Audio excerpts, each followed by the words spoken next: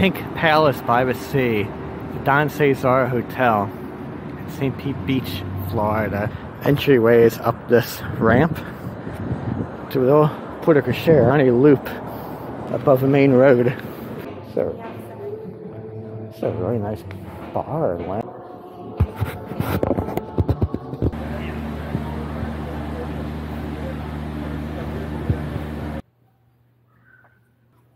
Lobby, ground, ground, you might want.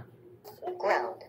Proceed to car A. There we go. Going down. It comes and it does what it does. See, it says on here, it's going to G. Lighting is seashell diodes. Grand ballroom. Okay, 1928. Grand ballroom was not occupied, so what it look like.